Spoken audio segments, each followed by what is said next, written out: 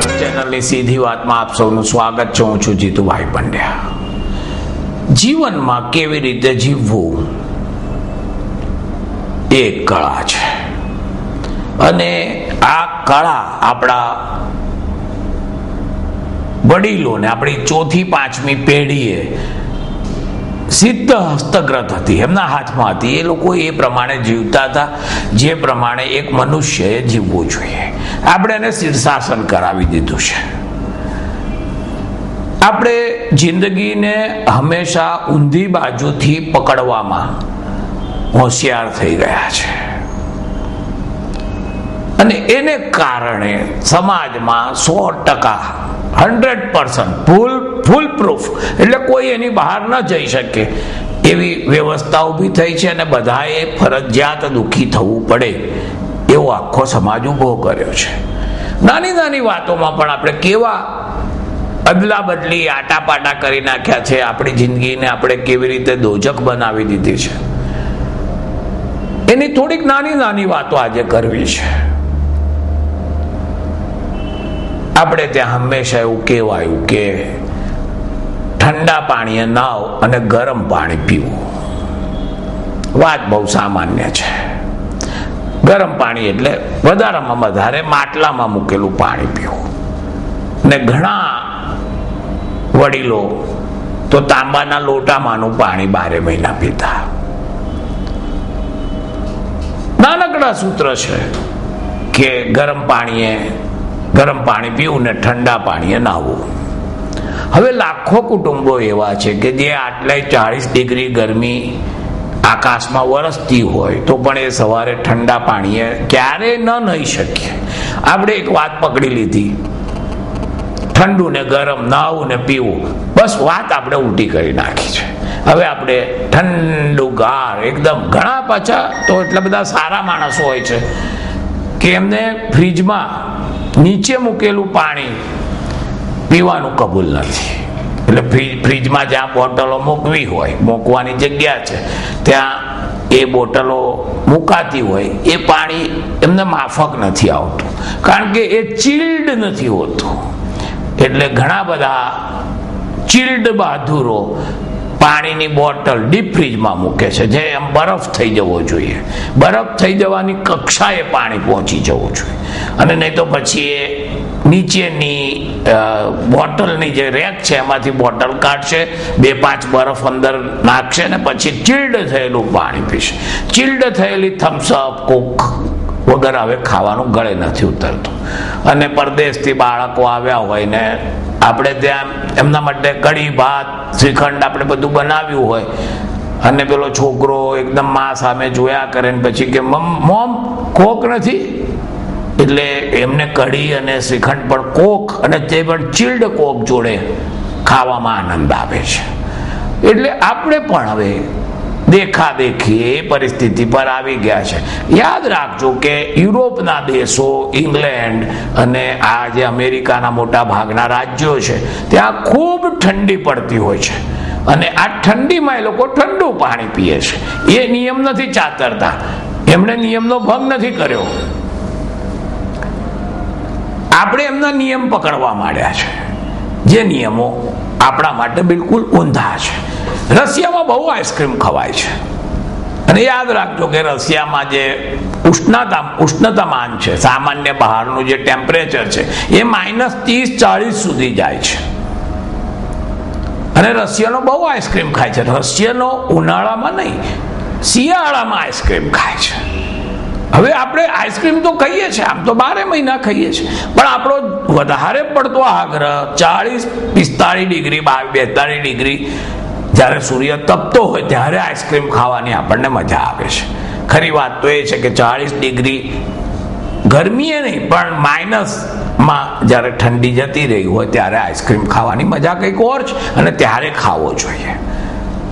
એટલે દુનિયામાંથી આપણે બધી જ વસ્તુઓ મંગાવીએ છીએ, પણ ત્યાંના વાતાવરણને, ત્યાંની જે વાત છે, ત્યાંનું જે વાતાવરણ છે, ત્યાંની જે સ્થાનિક પરિસ્થિતિ છે, એને આપણે ધ્યાનમાં રાખતા નથી. એટલે આપણે ચીલ્ડ પાણી પીવા માંડ્યા છે અને ગરમ ગરમ પાણીએ નાહવા માંડ્યા છે. આ બંને વસ્તુ આરોગ્યને નુકસાન પહોંચાડે છે. અને ખાસ કરીને જે પચાસ વર્ષ વટાવી ગયા છે, એમણે તો બને એટલા ઝડપથી. આપણે એકદમ ઠંડા પાણીએ ન નવાય તો નવ શેકા પાણીએ નહીએ. સેજ સેજ હુંફાળા પાણીએ નહીએ. પણ થોડોક જિંદગીનો નિયમ બદલીએ. અને સાવ ડીપ ફ્રીજનું ચીલ્ડ પાણી પીતા હોઈએ તો બોટલ જરા નીચેના રેકમાં મૂકીને પીવાનું રાખીએ. અને ન ચાલે. તો બોટલ થોડીક વાર અંદરથી બહાર કાઢીએ રેકમાંથી. થોડી પાંચ પંદર મિનિટ ઠંડી પડવા દઈએ, ગ્લાસમાં પણ થોડીક વાર પાણી રહેવા દઈએ અને પછી પીએ. સાચી વાત તો આર્યુવેદ એમ કહે છે કે ઉકાળીને ઠંડુ કરેલું પાણી પીવું. પણ આપણે નાની નાની વાતો બિલકુલ ઊંધી અવળી કરી નાખી છે. આપણે ત્યાં એમ કહેવાયું કે વહેલા સુઈને વહેલા ઉઠવું આપણે એને નિયમ તો રાખ્યો. વહેલા સુઈને વહેલા ઉઠવાનું ને એને રિવર્સ કરી નાખ્યો. મોડા સુ રાતના બાર, એક, બે વાગ્યા સુધી ફરવું. ઘણા લોકો તો નિશાચર પ્રાણી જેવા છે. મારા એક મિત્ર છે, મનોજભાઈ જોશી. મારા ખાસ મિત્ર. કોલેજમાં મેં બે ચારે વર્ષ જોડે ભણેલા. જ્યારે વડોદરામાં કરફ્યુ લાગે મિલિટરી વાળા આવી ગયા હોય વડોદરામાં. પંદર દાડા મહિનામાં. તો આ મિલિટરીના બધા લોકો પણ આ મનોજભાઈ જોશીને ઓળખી જાય. કારણ કે રાત્રે બાર વાગે ને આ મંદિરના રેલિંગ પર બેઠા હોય. સવારે ચાર, પાંચ વાગે જ મનોજભાઈ ઘેર જાય. તો એમને એમનો એક નિત્ય નિયમ હતો. હું જ્યારે સંદેશમાં નોકરી કરું, એ રાત્રે મોડેથી આવે, નીચેથી પછી મેસેજ આવે કે મનોજભાઈ ચાની લારી આવી ગયા છે. એટલે મને થાય કે બે અઢી વાગી ગયા છે. હવે આપણે આખી વાત બદલી નાખીએ. દિવસે નિંદ્રા, રાત્રે કામ એવો નવો નિયમ શરૂ કર્યો કે હવે સવારે નવ દસ વાગ્યા સુધી ઉઠવું નહીં, મોડા જ ઉઠવું અને પછી રાત્રે આખી રાત ઘુવડની જેમ આંખો ફાડી ફાડીને ટીવી જોવા. મારે એક પરમ મિત્ર છે, પંડ્યાજી. એમનો શોખ જ એ છે, એ આખી રાત ટીવી જોયા કરે છે. મારા એક નજીકના બહેન છે. એમના પતિદેવના અવસાન થયા પછી. એમની જે નવી દિનચર્યા છે, એ મેં સાંભળી તો મને બહુ આશ્ચર્ય થયું. એ બપોરે બે એક વાગે ઉઠે છે, બે ત્રણ વાગે. ઉઠીને નહીં ધોઈને ચાર પાંચ વાગે રસોઈ બનાવી લે છે, જમી લે છે અને છ, સાડા છ વાગે ટીવી પાસે બેસી જાય છે. સવારે ચાર વાગ્યા સુધી એ ટીવી જુએ છે. રાત્રે ઊંઘતા જ નથી. કે છે કે મને એકલા ઊંઘ નથી આવતી. બાળકો બાર ગામ છે, હું એકલી છું, મારે ઊંઘ નથી આવતી. એ સવારે પાંચ છ વાગે ઊંઘી જાય અને પછી એ બપોરે બે વાગે ઉઠે છે. તો આ વાત હવે ધીરે ધીરે આખા સમાજમાં પસરવા માંડી છે. બાળકો પણ રાત્રે સૂઈ નથી શકતા. આ બધી એક અજંપાની નિશાની છે કે તમને આખી રાત ઊંઘ જ ના આવે અને સવારે જ ઊંઘ આવે. અને એક બહુ કડવું સત્ય એ છે કે તમને બહુ ડરાવણા, બહુ જ જીવંત સ્વપ્ના સવારે સાત વાગ્યા પછી પડ્યા રહો, તો આ સવારના સાત વાગ્યા પછી તમે જ્યારે સુવો છો, ત્યારે તમે સપનાની અંદર વલોવાતા જોવો છો, વલોવાતા જોવો છો, વલોવાતા જોવો છો. એવા એવા ચિત્ર વિચિત્ર સપના તમને જકડી રાખે છે. તમને બીવડાયા કરે, તમને ડર, ભય, ગંદકી જે કંઈ તમારા મનની બધી ગંદી બાબતો છે એ ઉભરાવા માંડે છે સવારના સમયે. અને તમે એમાં પડ્યા રહો છો. પછી દસ, સાડા દસે માંડ ઉઠો છો. થાકીને ઠૂસ થઈ ગયા હો છો. તો પણ આનું કારણ છે કે તમે આખું જીવન ચક્રને રિવર્સ કરી નાખ્યું છે. જેમની નોકરીઓ છે, જેમને નાઇટ શિફ્ટ છે, એમની મુશ્કેલી સમજી શકાય એવી છે. પણ તમે પહેલા શું કરવા નાઇટ શિફ્ટ કરો છો? શા માટે આખી રાતના આવા ઉજાગરા કરો છો? બબ્બે ત્રણ ત્રણ વાગ્યા છો. અને ટીવીમાં એની એ જ વાત આવે છે, એના એ શો છે, એના એ પિક્ચર છે. ઘણા બધા બાવીસમી વાર, અઠ્યાવીસમી વાર, સિત્તેરમી વાર એનું એ પિક્ચર ટીવી પર જોતા હોય છે. અને પછી પાછા સવારે વાત પણ કરે કે આ પિક્ચર લાગ્યું. બાર, સાડા બારે ઊંઘવાની તૈયારી કરતો હતો ને ગોલમાલ લાગ્યું તો પછી હું તો સવારે ચાર વાગે પણ તું તારી જિંદગીમાં ભાઈ શું કરવા ગોલમાલ કરે છે? ઘણા બાળકોને, યુવાનોને હવે ઇન્ટરનેટનો ચસ્કો લાગી ગયો છે. અને તમે ટીવીના કે ઇન્ટરનેટના એડિક્ટ થઈ ગયા છો. જેમ સંજય દત્ત દવાઓનો ડ્રગ્સનો એડિક્ટ થઈ ગયો હતો અને એને અમેરિકા લઈ જઈને ટ્રીટમેન્ટ કરાવવી પડી. દારૂડિયાઓને ડ્રગ એડિક્ટ થઈ જાય છે, દારૂના એડિક્ટ થઈ જાય છે અને લઈ જવા પડે છે. તો તમે ટીવી કે ઇન્ટરનેટના એડિક્ટ થઈ ગયા છો, તો તમને પણ આ બધી સારવારની જરૂર છે. હવે તમે એડિક્ટ થઈ ગયા છો, એનો પુરાવો શું છે? તો તમે જેવા ઘરમાં પેશો છો, હજુ પગમાંથી જોડા કાઢ્યા નથી, એક મોજું કાઢ્યું છું, બીજું નથી કાઢતા. શર્ટના બટન ખુલ્લા રાખો છો, બે ઘરકી મૂકતા નથી. અને પહેલા દોડીને તમે ટીવીનું બટન દબાવતા હો. તો તમે સમજો કે તમે ટીવીના એડિક્ટ થઈ ગયા છો. બહેનો પણ ઘરમાં પેસે. બહાર ગઈ હોય ને ઘરમાં પેસે ને ધસમસતી આવે. મારી જસુબેન જતી રહેશે. બહુ સારી સિરિયલ છે જસુમાં, જસુબેન જોશીનું જોઈન્ટ ફેમિલી મેં અત્યાર સુધીમાં મને ટીવીમાં વખાણવી પડે એવી બે સારી સિરિયલો અત્યારે ચાલી રહી છે. જસુબેન જોશીનું જોઈન્ટ ફેમિલી અને કંઈક પડીકું છે. ઉમ્મીદ કા પેકેટ કેવું કંઈક. બે બહુ સુંદર ટીવી સિરિયલો. ક્યારેક નજરે પડી જાય છે. પણ તમને એના વગર ચાલે જ નહીં. મારે ત્યાં એક બેન આવ્યા હતા. હું સમાચાર જોતો હતો. એમણે હક હતો એમનો મારા બહુ નજીકના સ્નેહી હતા. આઈને તરત જ મારા હાથમાંથી આમ રિમોટ ચૂંટવી લીધું. અને ફાટ ફાટ ફાટ ફાટ પછી બહુ ટ્રાય કર્યો. પછી મને કે કે આપણી સ્ટાર પ્લસ કઈ આવે? સ્ટાર સ્ટાર પ્લસ ચેનલ કઈ આવે છે? પણ મેં તો શું હતું? અરે, કે મારી સિરિયલ જાય છે કે હું તો ભાઈને એવું કહેતી હતી થોડા મોડા નીકળીએ. જોઈ નીકળે પણ ભાઈ કે, ના જીતું ભાઈને ટાઈમ આપી દીધો કોઈ એના વગર એમણે એમ ઝટકા બંધ એ સિરિયલ શોધી કાઢીને બસ બેસી ગયા. ભાઈ, તમે મને મળવા આવ્યા છો. તમે મારી જોડે વાત કરવા આવશો. તમારા કોઈ પ્રશ્નને લઈને મારી જોડે ચર્ચા કરવાની છે. પણ જ્યાં સુધી એમની સિરિયલ પૂરી ન થઈ, ત્યાં સુધી ન તો એમણે પોતાનું જે સ્થાન ગ્રહણ કર્યું હતું એ ત્યાગ્યું.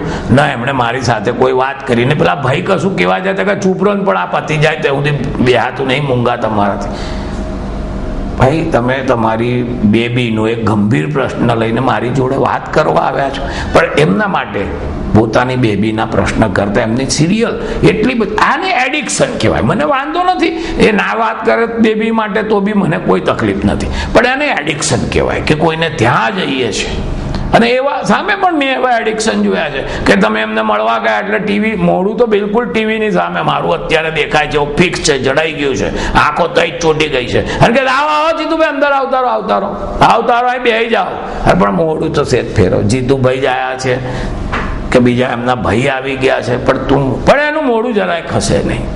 આ એડિક્શન છે. બાળકોને ટીવીનું અને ઘણા બાળકોને મેં જોયા છે કેવા એડિક્શન છે? તમે એમને ત્યાં ગયા હો. અને એની માં કે બેટું જો, અંકલ આ જીતું અંકલ આવ્યા છે. તો બેટું, હા હા, અંકલ. ભાઈ, એની કાર્ટૂન ટીવીમાંથી એની નજર ખસતી નથી. એના ઘરના ને બધાને ભેગા થઈને મેચ પણ જોવી હોય તો એટલા મોટેથી ભેગડા તાણશે કે કાર્ટૂન નેટવર્ક નહીં બદલવા અને મેં એવા મારા મિત્રો જોયા છે કે જેને ત્યાં બાળકો માટે જુદો ટીવી છે જેમાં ચોવીસ કલાક કાર્ટૂન નેટવર્ક ફિક્સ હોય છે. એમાં કોઈને કોઈ આ કે પેલી કાર્ટૂનની ચેનલ ચલાવવાની. બાકી બધા એમના માટે જુદો રૂમ છે. પણ આ બધું એડિક્શન છે. તમને દારૂનું કે ડ્રગ્સનું એડિક્શન હોય, પણ એના કરતાં આ એડિક્શન કદાચ વધારે નુકસાનકારક છે. ઇન્ટરનેટ પર. ઘણા બધા લોકો ઇન્ટરનેટ પરથી આંખ ખસેડી નથી શકતા.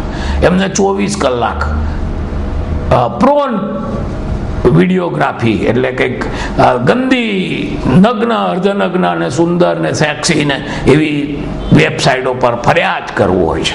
એમને એમ લાગે છે કે આ ઇન્દ્રનો દરબાર છે અને અંદર આ બધી અપ્સરાઓ નૃત્ય કરી રહી છે.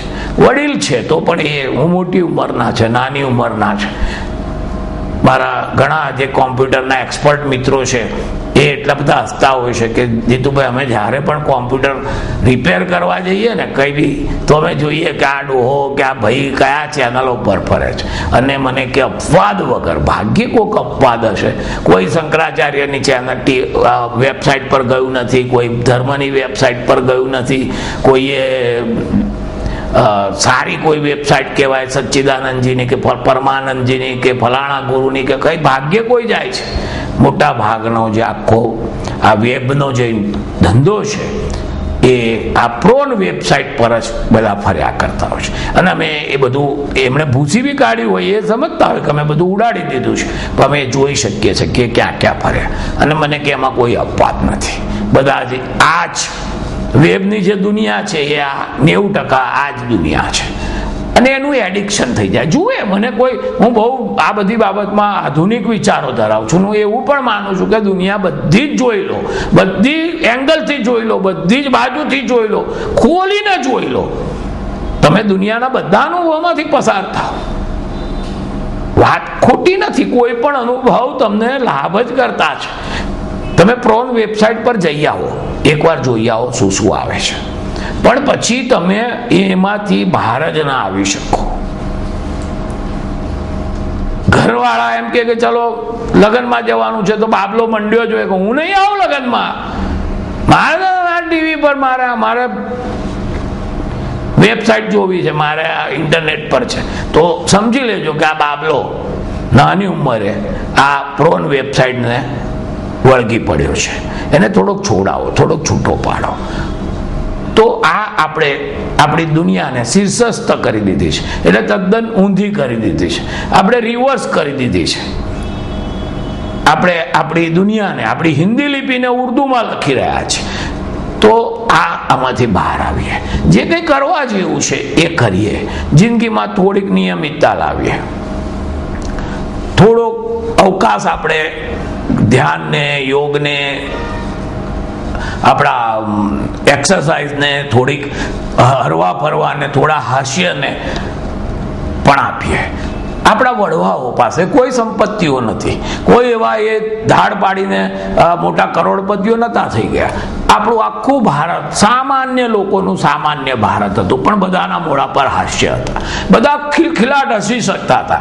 બધા જ નાતમાં જમવા ભેગા થાય ત્યારે જે કલવલાટ ને કિલ્લોલ થતો હતો અને જે ઉત્સાહથી બહેનો ગરબા ગાતી હતી, જે ઉત્સાહથી બહેનો લગ્નના ગીતો ગાતી હતી, ગળા ફાડીને ફૂલાવીને આજે બધું જતું રહ્યું. ફેશનના નામે હવે સહેજ મોટેથી બોલે, ટોકવામાં આવે. હે, બેટા, મોટેથી નહીં બોલવાનું. આપણે વાત કરીએ ને તો આપણે ફોન પર વાત કરતા હોઈએ ને તો જોડે બેઠેલો ના સાંભળે. અરે, જરા બોલવા દે બેન, એ બધી એટિકેટ પરદેશની રહેવા દે. આપણે ચમચી વગર હવે ખાઈ નથી શકતા. ઘણા બધા જાણે ચમચી વગર ખાવાનું આવે તો એમ લાગે કે જાણે જેલમાં જમી રહ્યા છે. પાંચ પકવાન પીરસો અને એમને ચમચી વગર આપો ને તો એ થાળીમાં એ રીતે જુએ કે જાણે આકાશની અંદર કોઈ ખગોળ વિજ્ઞાની, કોઈ ઉપગ્રહ શોધતો હોય કે કોઈ બીજો ગ્રહ શોધતો હોય. એની નજર આમ ભલે થાળીમાં, ચમચી વગરની થાળી. અરે જરા હાથથી ખા, ટેસડા લઈને ખા. હું કોક વાર એવું કરું. મારા ઘરવાળા થોડી છૂટ આપે છે મને. કે દાળ સબડકા લઈને ખાઓ. દાળના રેલા ઉતરવા જોઈએ, થોડા હાથ પર. અને પછી એ હાથ સાથે આમ ચાટીએ. હા હા. પણ હવે હાથ મને ઘણા બધા અનુભવ છે મને, કે ઘણા બધા મારી સાથે જમવા બેસે પછી એમના હાથ લૂછવા પણ ના પડે. અને મને તો બને ત્યાં સુધી નળ પર જઈને હાથ ધોવો પડે. અને પેલો વાડકો લાયો હોય તો મારે વાડકામાં આમ ચારે બાજુથી હાથ બોળી બોળીને ધોવા પડે. અને ઘણા બધાને તો હાથ બી આમ એ એ વાડકામાં હાથ ધોતા હોય ને તો જોવાની મજા આવે. આંગળીઓ પણ સેજ જ જ પલરે અરે આ જિંદગી છે, લલ્લો. ખા ને ટેસ્ટથી હાથ બગાડ. હું ફાઇવ સ્ટાર હોટેલોમાં તાજમહાલમાં અને બોમ્બેની મોટી મોટી હોટેલોમાં મારા એક મિત્ર છે, પ્રકાશ પંડ્યાની મહેરબાનીથી મારે ભાગ્ય કોઈ મોટી હોટલમાં જમવાનું બાકી હશે. પણ મારો ને મારા મિત્રનો નિયમ કે તાજમાં જમીએ કે ગમે તે ફાઇવ સ્ટાર હોટલમાં જમીએ કે લોજમાં જમીએ, જોશી ક્લબમાં જમીએ મુંબઈ, જમવાનું હાથથી ને ભાત તો હાથથી જ ખાવાનો. હવે આની સામે આપણે શું શરૂ કર્યું છે મેં તો જોયું એક ભાઈએ રોટલી તોડીને મોઢા મૂકી હમણાં જ હું બહાર ગયેલો. તો એ ભાઈએ રોટલી તોડીને મોઢામાં મૂકીને શાક પછી ચમચીથી થોડી વાર પછી મૂક્યું. હલાત આ ભેગું ક્યાં થશે? રોટલી અંદર પહોંચી જશે ને શાક થોડી વાર પછી અંદર જશે? અરે બે ભેગું થવું જોઈએ. રોટલીની ઉપર શાકનો રસો ચોટવો જોઈએ. અને તારા આંગળા પર બી ચોટવો જોઈએ. આંગળામાં થોડો મેલ હોય, નખમાં થોડો મેલ હોય, એ શાકમાં ઉમેરાશે, તારે શાકમાં ટેસ્ટ આવશે. પણ આપણે જિંદગીને એટલી બધી બોજીલ બનાવી દીધી છે. નાવાનું ભૂલી ગયા છે. એક વાત કહું આજે. વાત મને હમણાં યાદ આવી. ચાલુ વાત કે આપણે નાવાની આખી ટેકનિક ભૂલી ગયા છે. ફુવારો છોડીએ છે ને ઉપરથી પાણી પડે. વરસાદમાં નાતા હોય એમ ધમ ધમ નહીં લેવાનું. ઠીક છે, મુંબઈ જેવામાં આવતા તમારે ટ્રેનો આઠ દસની ટ્રેન પકડવાની હોય તો. હવે અહીં તમારે કોઠી કચેરીમાં, સરકારી ઓફિસમાં અગિયારે ગયા, સવા અગિયારે ગયા, પોણા બારે ગયા. કોણ? બાપ પૂછે છે, હું કરવા ધાડ કરે છે? મોડો ઉઠ્યો છું તો મોડો જ હજે, પણ જરા શાંતિથી ના અને નાહવાની એક સિસ્ટમ હતી. આપણે એને બિલકુલ ઊંધી કરી દીધી છે. જે આયુર્વેદિક નાહવાની જે વાત કઈ છે, કેવી છે, ખબર છે? ડોલમાં પાણી લેવાનું. એટલે એક તો માથેથી આ જે પાણી રેડવાની શરૂઆત કરીએ છીએ, ખોટી છે. તમે ડોલમાં પાણી લો, ગરમ થોડું ઉફાળું કરો, એકદમ ગરમ પાણી લો, છૂટ ચાલો. અને પહેલા પગના અંગૂઠાથી ધોવાની શરૂઆત કરો. પહેલા પગના આંગળા ધોવો. આંગળા પર સાબુ લગાડો, આંગળા પર આંગળા પર આંગળા તમારા ઘસો, તમે ઈચ્છો તો પેલું પથરો ઘસો, કોઈ જે કંઈ પેલું વાળવાળું કંઈક આવે છે, ઘસવાનું, આમ આમ, ઘસવાનું, બધા ઘણા પૈસાદારોને ત્યાં જોઉં છું. તમારી પાસે જે કંઈ ઘસવા જેવું હોય, ઘણા કકડો લઈને, તો એ પગ ઘસો. તમારા આંગળા ધોવો, પછી તમે પગના પંજા ધોવો, પછી પગની ઘૂંટી ધોવો, પછી ધીરે ધીરે ધીરે ધીરે નાતા નાતા નીચેથી ઉપરની બાજુ આવો. પેલા પગ ધુવો અને પછી ત્યાંથી તમે ઉપર નાતા નાતા નાતા આવો ને પછી માથું છેલ્લે ધોવો. અને પછી ફરી પાણી રેડીને નહીં લો. આ નાહવાની સાચી પદ્ધતિ છે. કે જેમાં નીચેના અંગો પહેલા ધોવાતા જાય ધોવાતા જાય અને પછી ધીરે ધીરે કમર ને કમર ને ઉપરના પછી ડોકું, ગરદન આ પણ નીચેના રિવર્સ કમ ક્રમમાં આપણે એક વસ્તુ જેને પણ મારું આખું ભાષણ ના સાંભળવું હોય, મારું આ લેક્ચર ના સાંભળવું હોય, એ જે જિંદગી જીવે છે ને એને બિલકુલ ઊંધી કરી નાખે. કારણ કે આપણે બિલકુલ ઊંધી જ કરી નાખી જેને ઊંધી પાડી દીધી છે. પછી કહીએ કે હમણાં એક જણને મેં પૂછ્યું, શું થયું? માળ ત્રીસ વર્ષના બેન હતા. મને કે મોતિયો ઉતરાયો. અરે તારું ભલું થાય. મારા બાપા પંચ્યાસી વર્ષે મરી ગયા તો એ મોતિયો નહોતો ઉતરાયો. ત્રીસ વર્ષે મોતિયો આવી ગયો તો મોતિયો આવી ગયો. તો આ બધામાંથી બચવું હોય. તો જે જિંદગીની સાચી મજા હતી અને આપણે શા માટે ભૂલી જઈએ છીએ? જિંદગીમાં તમે શાંતિ છે નહીં. ઘણા બધાને તો મેં જોયું છે કે રોગ હોય છે. એ જમતા હોય ને તો હાથમાં છાપું હોય, ચોપડી હોય. મને વાંચવાનો બહુ શોખ. હું આવું કરું છું. વાંચ, આ ગુનો તો હું પણ કરું છું. પણ કારણ વગર તમે એમાં કોઈ સારી વસ્તુ વાંચી લો, કોક દિવસ તો ઠીક છે. પણ એનું ધ્યાન જરાય જમવામાં નથી. કાં ટીવીની સામે. ઘણા બધાને સામેથી જો ટીવી લઈ લો ને તો ગળે ખાવાનું જ ના ઉતરે અને મને જે લોકો મળે છે ને, મારા નેવું ટકા લોકો એવું કહે છે, બસ જીતુભાઈ, ઘેર જવાનું, થાળી પીરસું અને આમ પહેલો કોળિયો મૂકું તમે આવી જાઓ છો. અને તમારું જમવા મારું જમવાનું પૂરું થાય, તમારું ભાષણ પૂરું થાય. અરે પણ ભાઈ, જમવાની વસ્તુ જુદી છે. જીતુભાઈને જોવા જુદી વસ્તુ છે, જમવું જુદી વસ્તુ છે. જમવાનો આનંદ લઈને જમો. અને જમવાનો આનંદ લઈને કેમ જમાય? એનો એક નાનકડો દાખલો આપું છું. મેં મારી જિંદગીમાં કરેલો દાખલો આપું છું. તમે એક નક્કી કરેલો કે હું જેને ડાયટિંગ કરવું છે એના માટે તો આ ગોલ્ડન વસ્તુ છે. મેં જિંદગીમાં એવા પ્રયોગો કર્યા હતા, જમવા પર. બ્રાહ્મણ છું જેમ ગાંધીજીએ સત્યના પ્રયોગો કર્યા, મેં જમવાના બહુ બધા પ્રયોગો કર્યા. કે તમે નક્કી કરો કે હું પિસ્તાળીસ મિનિટ લઈશ જમતા. અને પછી હું એક રોટલી, થોડા ફોડવા શાક, થોડા દાણા ભાત અને એક વાડકી દાળ આટલું પિસ્તાળીસ મિનિટમાં ખાતો અને એક પિસ્તાળીસ મિનિટમાં આટલું જ ખાવાનું, એક રોટલીથી વધારે રોટલી નહીં લેવાની. ફોડવા શાક, થોડા ફોડવા શાક, ટીંડોળાના કે બટાકાના. અને થોડા દાણા ભાત. હવે આ બધું જો રોટલી ને શાક ભેગા ખાઉં તો તો પિસ્તાળીસ મિનિટે પહોંચાય નહીં. એટલે હું ટીંડોળાનું એક ફોડવું મોઢામાં મૂકું. આંખો બંધ કરું ને પછી ટીંડોળાનું એ ફોડવું ચબળવું પહેલાં તો. એટલે મસાલો છે એ બધો ધીરે ધીરે ધીરે ધીરે મોઢામાં ઉગળે. અને મોઢાની સૂક્ષ્મતા જાણવી હોય, તો આ હવડ પહુડ ખાવ છો ને, જેને ફુરસત છે વીઆરએસ લઈ લીધું છે, હવે રિલાયન્સની મહેરબાનીથી ઘેર બેઠા પૈસા આવે છે, તો આ મજાથી ખાઓ અને મજાની વાત કહું કે જ્યારે તમે એક ફોડવું શાક મોઢામાં મૂક્યું છે, અને એ ફોડવું ધીરે ધીરે ધીરે ધીરે મસાલો છૂટો પડે છે, તમારું મોં એટલું બધું સૂક્ષ્મ ગ્રાહ્ય છે કે એને મરચું છૂટું પડશે, ખબર પડશે, મીઠાનો કણ છૂટો પડશે, તમને શાકમાં જુદો દેખાશે નહીં, પણ તમને દરેક વસ્તુનો સ્વાદ જુદો લાગશે. તમે રહીનો દાણો છે જે વઘારમાં નાખ્યો છે, એ ફૂટશે ને, એ રહીનું કડવું તેલનો સ્વાદ તમારું મગજ જુદું પાડી આપે છે. પણ હવે જીતુભાઈને જોતા જમો કે છાપું લઈને મંડ્યા છો, તમને ક્યાં રહીના સ્વાદ દેખાવાના છે? રહી એટલે નાખવામાં આવે છે કે રહીની અંદર તેલ છે, એ તેલ તમારા શરીર માટે બહુ જરૂરી છે. પણ એ ફૂટે અને એની જે સેજ મસ્તી કડવાશ છે, એનો સ્વાદ તો કોઈ દાડો લઈ જુઓ. કે રહીના તેલનો સ્વાદ કેવો આવે? અને બધું છૂટું છૂટું છૂટું ખાવ ભાતનો દાણો છૂટો ખાઉં અને દાળ છૂટી લઉં. અને દાળ પણ એવી ટેસ્ટી પીવું. પિસ્તાળીસ મિનિટ લાગે. જે કોઈ વીઆરએસની મહેરબાનીથી સાવ નવરું થઈ ગયું છે, અને થોડી ઉંમર થઈ ગઈ છે પચાસ વર્ષની ઉપર. ભલે બે રોટલી ખાવ, પણ પિસ્તાળીસ મિનિટે ખાઈ લો. તારા બા, પછી કરવાનું છે? બૈરી કે જ કરવાનું છે. તો તારે કશું કરવાનું નથી જેને દોડધામ નથી. એ પિસ્તાળીસ મિનિટમાં જમે. અને મજા આવશે, એટલી બધી મજા આવશે, શરીર એટલું બધું હળવું ફૂલ થઈ જશે. રાત્રે ઊંઘ બે ત્રણ કલાકની માંડ રહેશે. રાત્રે ઊંઘમાં પણ તમને એમ લાગશે કે તમે જાણે રૂના પેલા રૂના પૂમડાની જેમ આમ હવામાં તર્યા કરો છો, ઉડ્યા કરો છો. અદ્ભુત વસ્તુ હતી આપણી પાસે. આપણે બધું ઊંધું કરી દીધું. આપણે હવે નાનકડા કકડા કરીને કે ફોડવા કરીને ધીરે ધીરે ખાવાને બદલે ચમચા ભરી ભરીને, દોથા ભરી ભરીને મોઢામાં ખોસી દઈએ છીએ. મારા પ્રકાશ પંડ્યા, જ્યારે ખાવાની વાત આવે તો પ્રકાશ પંડ્યાનું નામ આવે.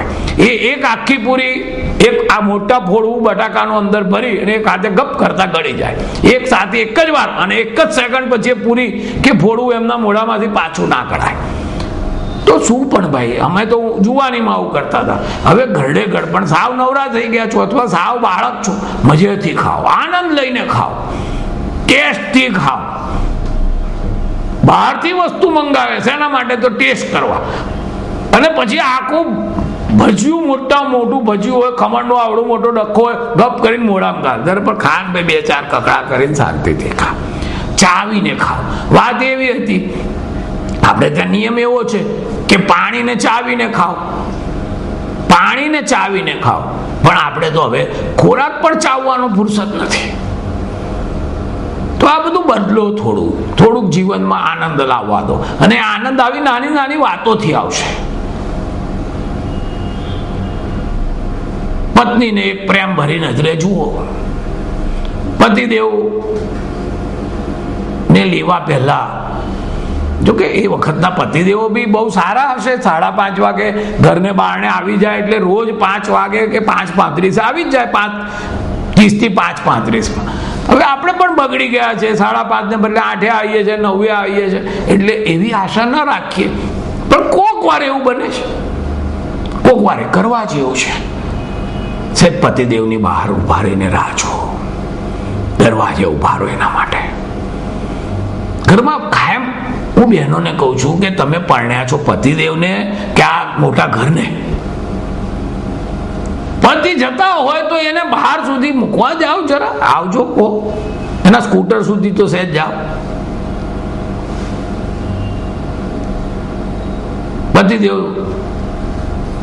બહારથી આવે, કોક દિવસ બને. બેન હું કઈ સ્ત્રીઓની સ્વતંત્રતા છીનવી લેવા નથી માંગતો. પણ કોક દિવસ સારી સાડી પહેરો, તૈયાર થાવ. અને પતિદેવ આવે, એની રાહ જુઓ, એને આવે એટલે પ્રેમથી બારણેથી લઈને આવો. એને સહેજ સરસ ગરમ પાણી પાવ, ઠંડુ પાણી પાવાની. તો ના કહું છું, પણ જે છે, સારું ઉફાળું પાણી પાવ.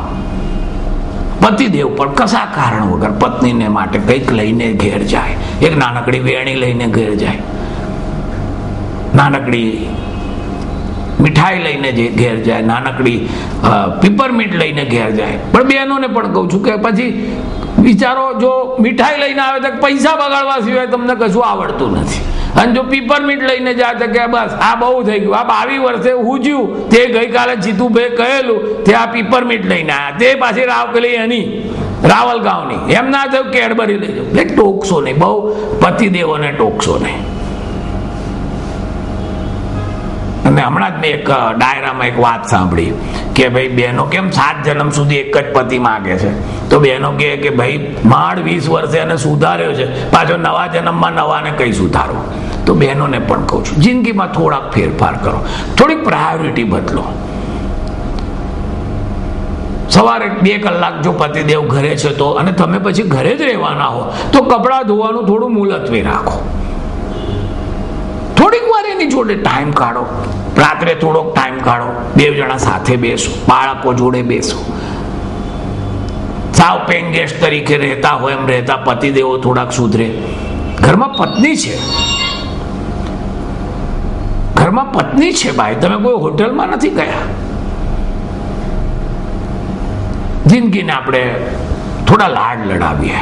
મજામાં રહીએ. અસલી મજામાં રહીએ. અને બેનોને ખાસ કહું છું કે ગણપતિ દેવો હોય, એમને ટુવાલ પહેરીને સોફામાં માળા પડ્યા હોય તો જ મજા આવે. હવે બેન મંડ્યા ને મંડ્યા, હવે તારા ઘરમાં બાર મહિનામાં બાર જણા નથી આવતા. હવે મંડ્યા, તું તમે ટુવાલ પહેરીને પડ્યા રહો છો, તમે ટુવાલ પહેરી એટલે પણ પડ્યો રહેવા દે ને. એ ભેંસ જેવા આવા જાડા તારા પતિદેવ ટુવાલ પહેરીને પડ્યા છે કે લુંગી પહેરીને પડ્યા છે. પણ એને જરા મજા તો લેવા દે.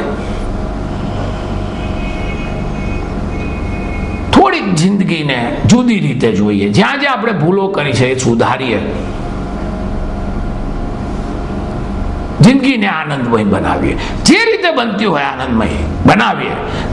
અને હું તો એક ખાસ વાત કહું છું કે મેં કહ્યું કે ભાઈ ગરમ પાણી પીવું ને ઠંડુ ઠંડા પાણી ના આવું. જે લોકો રોજ ગરમ પાણી પીએ છે ને એક દાડો જરા ટેસ્ટથી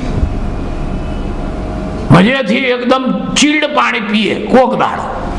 અને એ કોક દાડો ગરમ પાણી બી થાય રોજ ઠંડા પાણીએ નાવું રોજ તાંબાના લોટાનું પાણી પીવું. સારું છે. આરોગ્ય માટે એ જ જરૂરી છે. પણ કોક દાડો ટેસલો કરવો. ચા નથી પીતા નથી પીતા. અરે કોક દાડો પત્ની ચા પીતી હોય તો એના કપમાંથી અડધી, અડધો કપ પી લેવી. એ નવી જિંદગી છે, એ નવી વાત છે